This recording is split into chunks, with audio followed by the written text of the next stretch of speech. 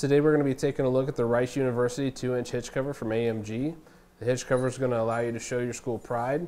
It also adds a clean finish look to your hitch and it's going to help keep dirt and grime out of the receiver tube of your hitch.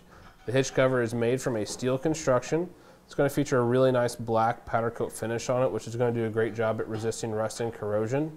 Here on the front we're going to have the chrome plated metal emblem. It's going to have a nice rust proof and fade proof design.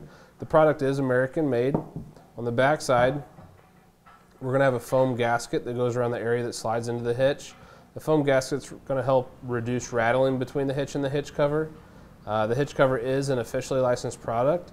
It requires a hitch pin and clip or a hitch lock to get it fully secured and installed in your hitch. Those items are sold separately, so if you need one, you can find them right here at etrailer.com.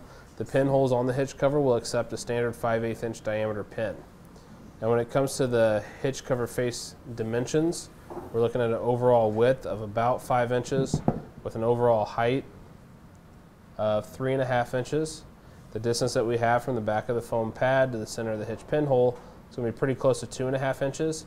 Now this is designed for a 2 inch by 2 inch hitch. Very simple installation. Just slide it into the receiver tube of your hitch, line up your pinholes, and secure it with a hitch pin and clip or a hitch lock.